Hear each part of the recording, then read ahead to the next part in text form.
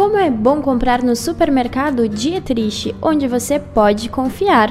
Produtos de qualidade e ótimos preços, carne fresca, pão quentinho e tudo que você e sua família precisam para comer bem, gastando pouco. Você encontra no supermercado Dietrich.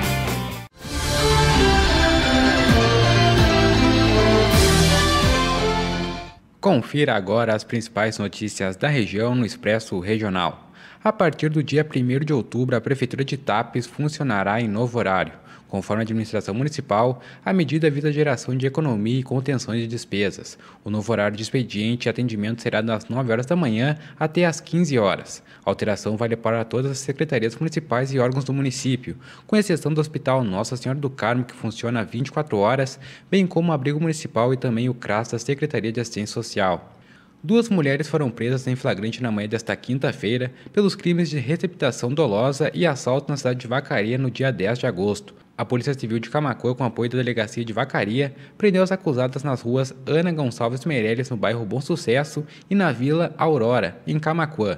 Seis policiais civis de Vacaria e seis policiais civis de Camacuã cumpriram quatro mandatos de busca e apreensão na manhã de hoje. E cotistas do PIS-PASEP têm até amanhã, 28 de setembro, para sacar o benefício fora dos critérios previstos em lei. É o caso dos trabalhadores com menos de 60 anos. De acordo com o último balanço do Ministério do Planejamento, há 4 milhões e meio de pessoas nessa faixa etária que ainda não retiraram os recursos. Essas e outras notícias você confere no nosso site www.lagoatv.com.